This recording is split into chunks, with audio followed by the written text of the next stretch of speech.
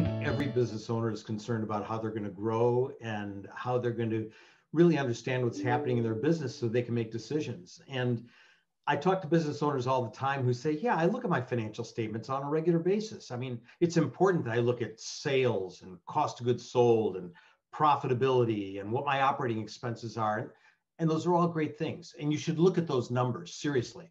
If you don't know what those numbers are, you're in real trouble and you need more than just a CFO. But the reality is, if those are the only numbers you're looking at, you can't make decisions on what's going to drive additional profitability or what's going to make your business more efficient than it was before. So it's not just those basic numbers that are on your income statement. It's all those subsidiary reports. It's all that deeper information that tells you, for instance, if you're looking at sales, how do your sales break down? Do you have different products, different services that you sell?